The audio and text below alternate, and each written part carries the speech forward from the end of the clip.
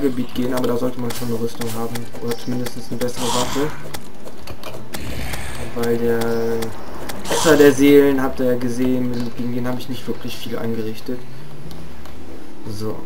Wo können wir denn die Mine mal schön hinbauen? Weil das Areal da vorne möchte ich eigentlich... Ah! Stern, Stern, Stern! Zwei haben wir schon. Und ein Topaz. Coole Sache. Silver? Okay. Das passt so nicht. Und ich habe hier immer noch den Kronleuchter, den ich jetzt auch mal verwenden möchte. Ja, komm, sind wir mal nicht so... Die kriegt der NPC. Zack, das sieht doch gemütlich aus. Toll, ich krieg keinen, oder was? Doch, später, später. Die musst du dir erst verdienen. Ja, ja, ich muss mir das verdienen. NPC kriegst du Arsch gesteckt, Mann. So. Ach, siehste, wir hätten hier sogar eine Woodball gehabt. Na toll. So, den Topaz, den lassen wir erstmal hier. Das Erz...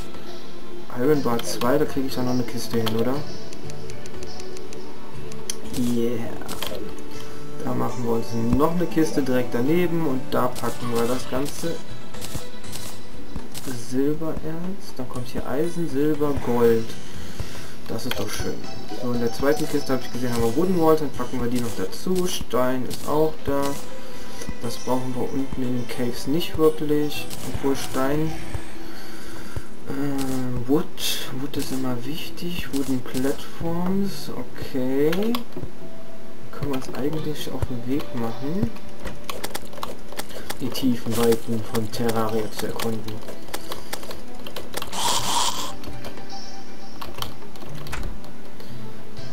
Die Baumfarm funktioniert 1A. Wir kriegen Bäume ohne Ende.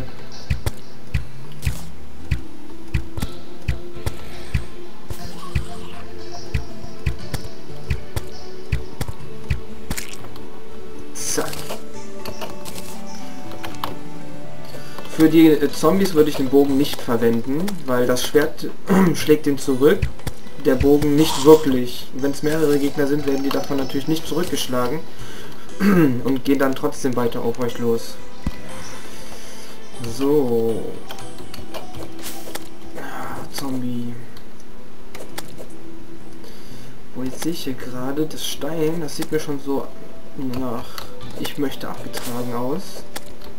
Abgetragen werden aus. Ausgetragen werden. Ach, auch immer. Noch ein Stern!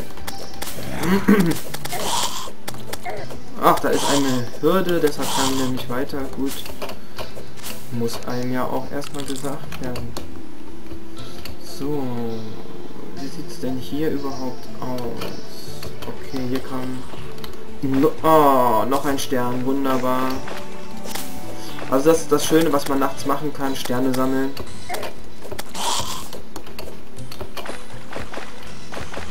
Mal gucken, ob wir noch ein paar hinkriegen.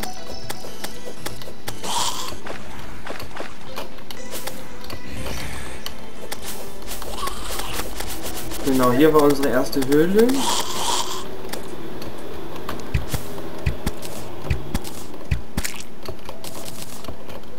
Ein Herz, wunderbar, gut.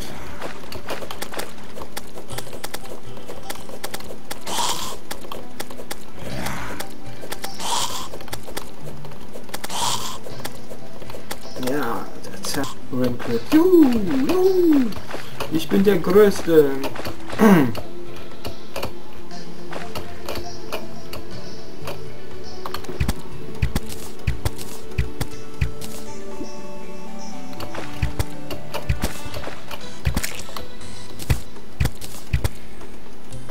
ich habe keine Pfeile mehr.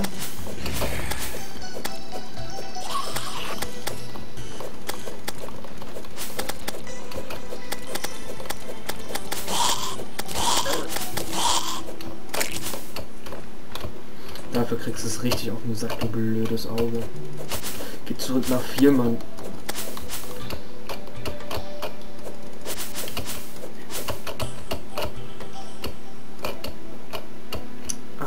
so herrlich aus. So, also, das sieht mir sehr schön nach einem Startpunkt für unsere Mine aus. Die markiere ich jetzt einfach mal so. Hier möchte ich den Grundboden eigentlich noch lassen.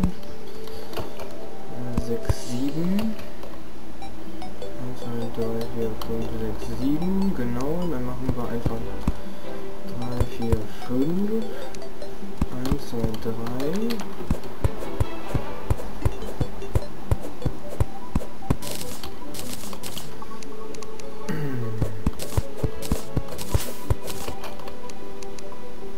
drei, vier, fünf, sechs, sieben.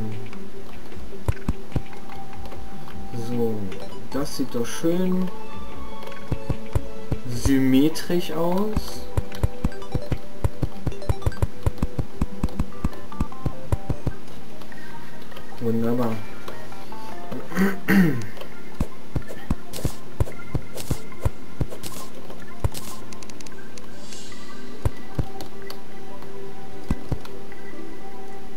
So, beleuchtet ist das Ding damit auch.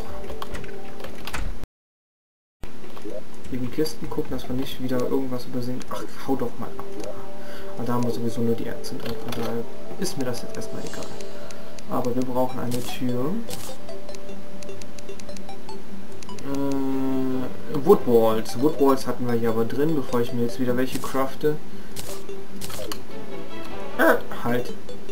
Wir haben nämlich keine Pfeile mehr, also macht man da? Neue! Neue Pfeile für Windcrit. Juhu!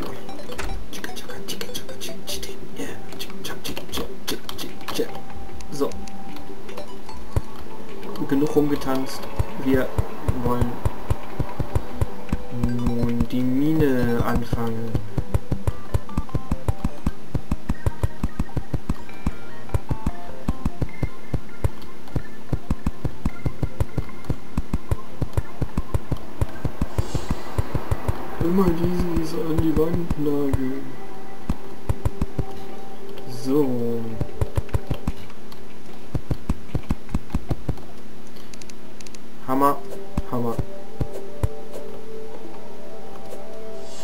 Okay, da kommt es noch nicht dran.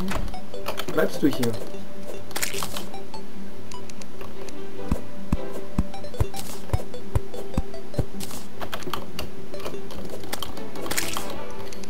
So, das Schöne ist jetzt natürlich, wir können auch hier wieder dicht machen, wenn wir denn genug kein Holz dabei hätten.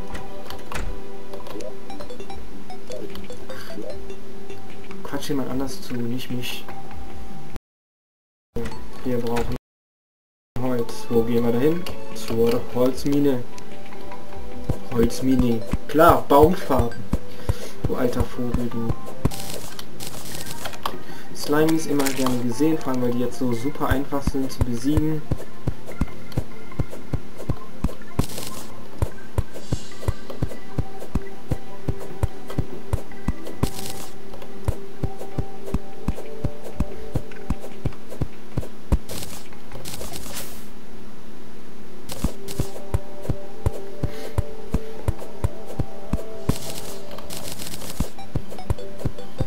Die Wolken vorbeiziehen. Das ist ja herrlich. Und es wird Tag, das ist sehr schön.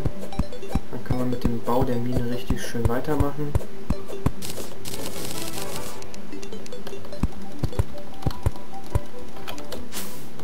So, Ahornsamen habe ich keine mehr. Okay. Plattforms. Und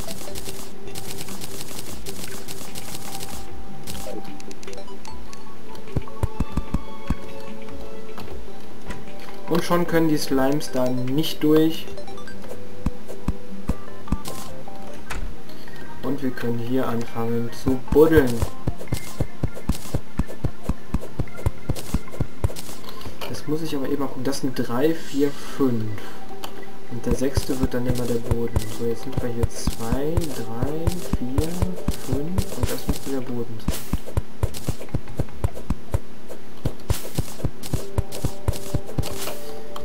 Erwartet uns auch direkt eine, eine Kanne. Das ist sehr schön. Das verspricht schon mal was.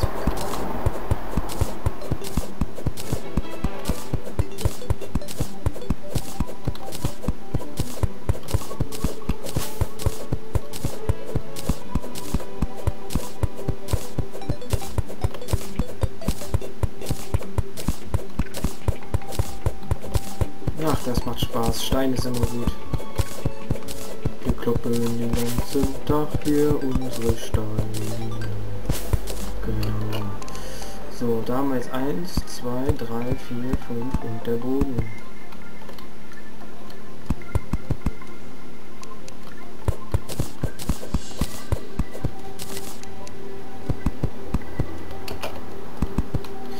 Das ist eben so ein genialer Trick, wie einfach äh, indem ich jetzt hier den Turm runterbaue, kann ich mich in jeder Etage links und rechts einfach durchbuddeln und habe immer einen Safety Point in dem Sinne, wo ich weiß, ah, da muss ich, da kann ich zurück.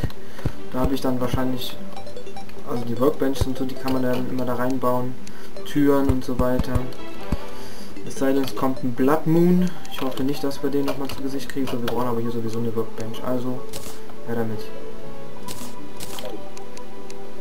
Denn der Blutmond, dann spawnen die Gegner in Schwärmen und dann ist hier finito. Äh, obwohl ein Furnace können wir uns ja eigentlich auch hinstellen noch. Obwohl, nee, das ist eher unsinnig. Den stellen wir mal dahin. Den brauchen wir nämlich nur zum Schmieden und dann machen wir nämlich hier noch einen Stuhl und einen Tisch hin.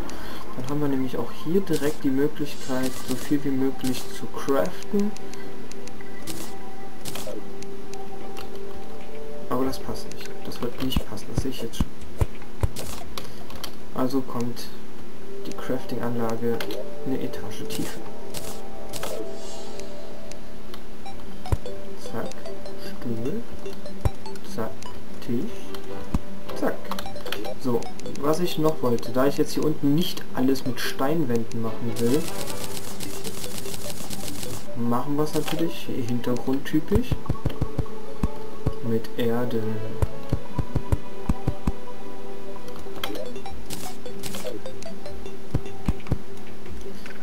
So. Und weiter geht's. Nächste Etage, nächstes Glück. Eine Fackel haben wir gefunden. Wie aufregend.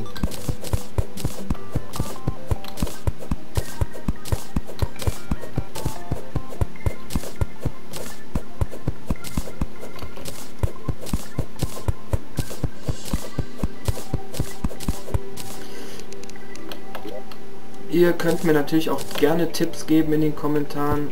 2, 3, 4. Oder mir halt auch mitteilen, wenn euch das zu langweilig ist und ihr sagt, boah, nee, Alter, geh doch lieber in die Dungeons, das ist viel aufregender. Dann mache ich das natürlich auch ganz gerne. 4, 5 und das da drunter wird dann der Boden.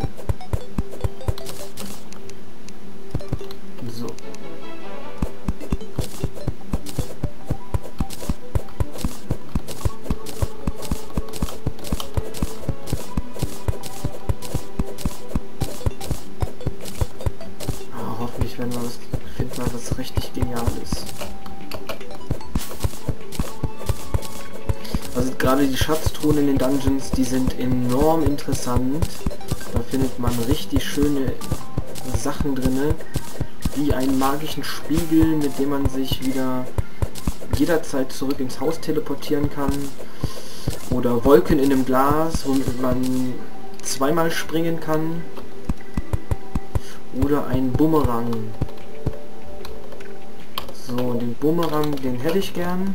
So, da komme ich jetzt natürlich nicht hoch, weil das zu niedrig ist. Da das hier aber normale Erde ist, kann ich die hier einfach dran setzen. Und wo müssen wir jetzt hin?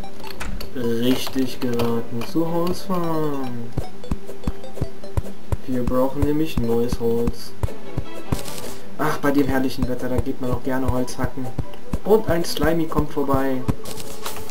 Den begrüßen wir doch mal mit unserem neuen... Oh, oh, und der hat uns erwischt. Unserem neuen Eisenschwert. Ja, klar. Mit der Spitzhacke. Ja, mit dem Hammer geht es natürlich auch nicht. Du bist heute wieder sehr intelligent.